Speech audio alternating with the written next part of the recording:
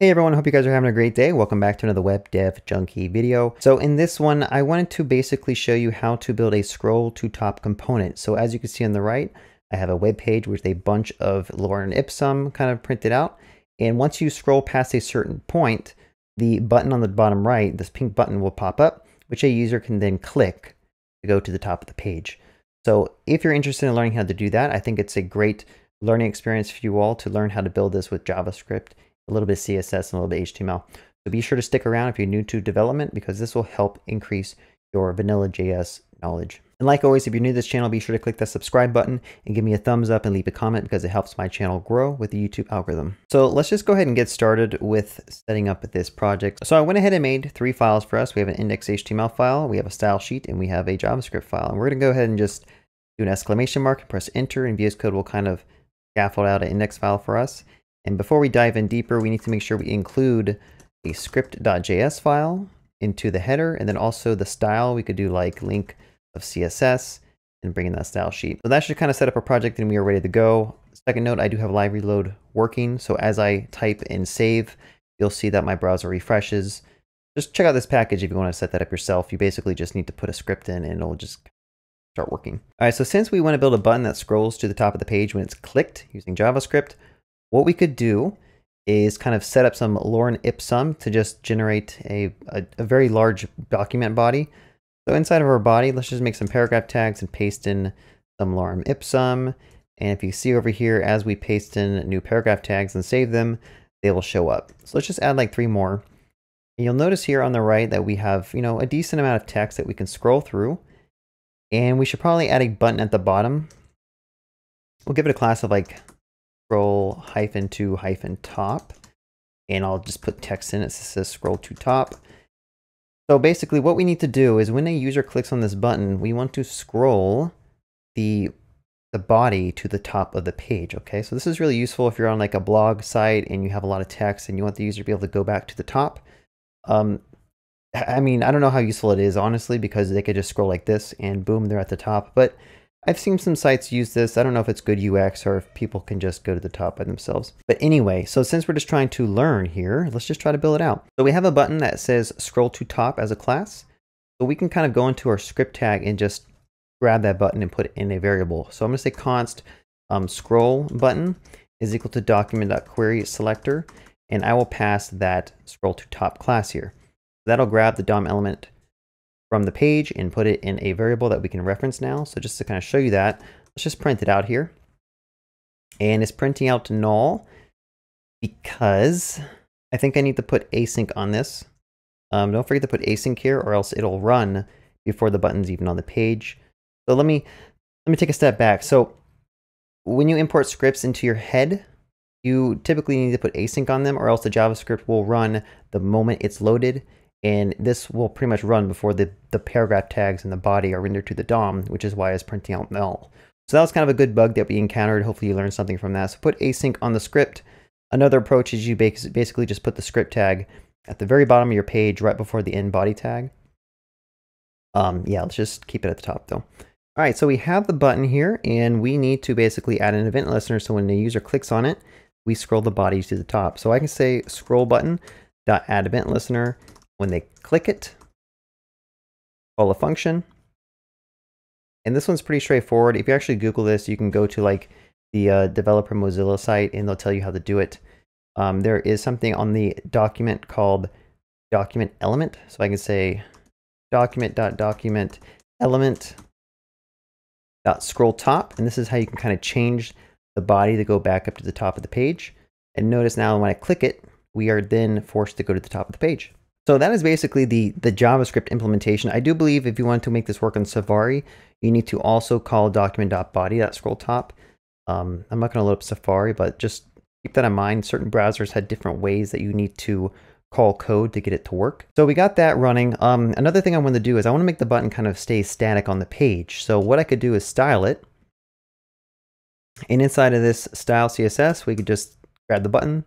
So dot scroll to top. I'm going to style that button and I'm going to give it a position of fixed. So this will make it fixed on the page. And we could just give it a bottom of zero pixels and a right of zero pixels. And that should make it like always be fixed to the bottom right of the page. And here you have it. That looks pretty good. I don't think my head's blocking, but that should be good. So then you can click it on wherever you're at, right? Let's style it some more to make it like rounded and more apparent. So I can say border radius is 50%, give it some fixed width and some fixed height. Uh, make sure I spell that right. So then we got a button that's actually really big. Let me zoom out some. Like this.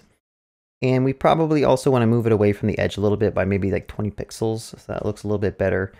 And unfortunately, it's blocking the text underneath it. So I don't know if you want to give it like some opacity of like 80% maybe. You can mess around with that. Maybe that doesn't look that good. But what you'll see on a lot of sites is typically they have like an arrow. Instead of it saying scroll to top, you'll have an arrow. So let me show you how you can basically import um, a library called Font Awesome to start making this look like an arrow. So let's go to CDN.js Font Awesome, and we will bring it in here. So go to the CDN library, cdnjs.com is where you can pretty much have all the hosted JavaScript libraries and style sheets that you want for the various libraries. And you can copy the first link here for Font Awesome. So what I'm to do is I'm to import that. Like it's saying link of CSS is equal to Font Awesome. Save that, and then we should have access to put a an icon here, right? So I'm to go to the button that says scroll to the top, and instead of having some hard-coded text here, I'm to make an icon with a class. Um, actually, actually, I think I is italicized, but this is typically the approach I've seen. You do an I element, and then for the class, you can simply put like FA, which stands for font awesome, and then I can say FA caret up, I think is what you can use. That looks pretty good. Uh, there's a bunch of different other font awesome icons that you can use. So if you just search for font awesome and go to their site, you'll see that you have a tons of tons of stuff. I could type up and you have a bunch of different arrows. Caret up, chevron up is a good one too. Arrow up is a good one. Actually, that one might be better than what we got. Let's do arrow up. All right, so that looks a little bit better. Let's try to style it. So first of all, the font size could be increased like 50 pixels, just so the arrow is larger. maybe do 40. And the width and the height could probably be, I'll do 80. Okay. And then maybe the color could be like a gray, so I'll do like a 666. And there you have it. And also, you probably want to make the background color something cool. So I'm going to go to coolers.com and just find a nice looking color. All right, so let's do this one. This opal color looks pretty good. I'll copy that and I'll just add it to a background color here. Save that. And that actually looks pretty bad. Let's make a let's change this to the arrow to a different colors too. Let's make this like a, a pink. This is the fun part about styling is you can pick whatever colors you want. Sometimes they look good, sometimes they don't.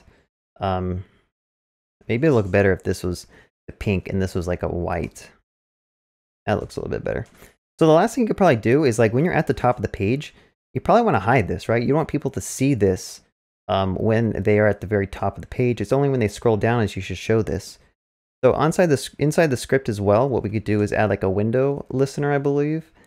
Um, let's see if there's a window on scroll JavaScript. I'm going to Google this stuff because there is no shame. Yeah, so there's a document add event listener scroll.